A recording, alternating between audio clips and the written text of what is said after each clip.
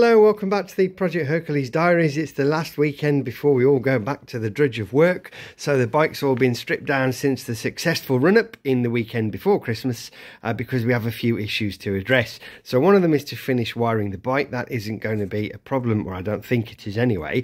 But one of the main problems we've had is the drive chain. So the starter motor here acts with the Dynastart to turn the outside uh, gear which is attached to a sprocket that drives a sprocket on here and that's what cranks the motor and all that's been shown in other videos.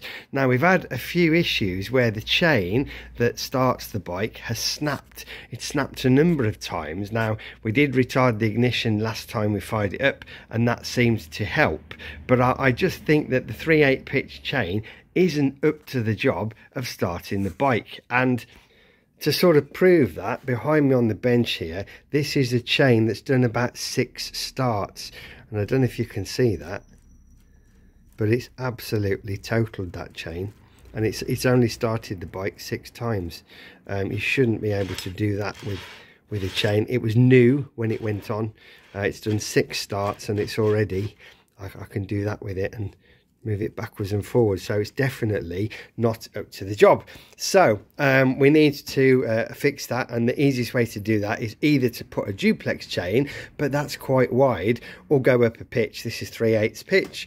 So we go up to a half inch pitch chain. Now that's not that much wider and there is enough clearance against the um, pulley the front drive pulley here or the primary drive pulley as some people call it so so the, the, the belt of the pulley runs across here and the chain runs up here.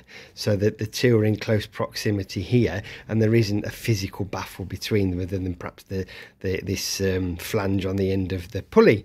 Um, the belt does tend to run against this side of it so that, that's not really a problem.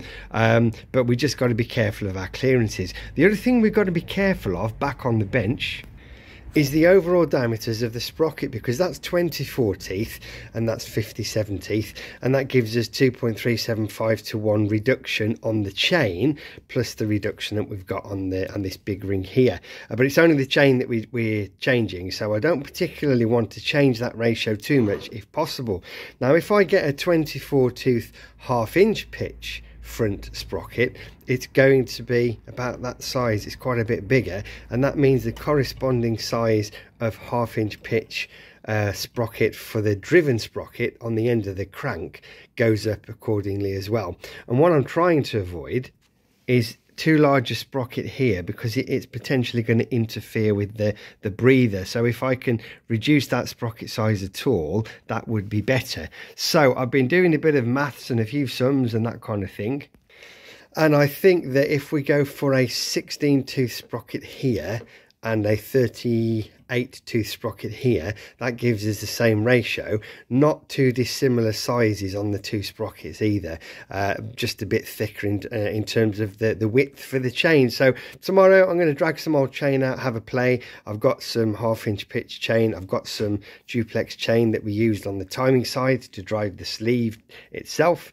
Uh, I think the duplex chain is new. The half inch pitch chain I'll have to buy new. And we need to buy a sprocket with a boss on the back of it so that we can remake the the boss with the keyway to fit the Dynastart and fit into there none of those are particularly difficult jobs and it's just one of those things i just want to do it once and then not have to worry about it so that's probably the next job, uh, or perhaps a little bit of electrics. It depends what mood and when and what I'm feeling like. So that's exactly where we're at at the moment. So that's your Friday night update. As usual, thank you for watching. More updates will follow.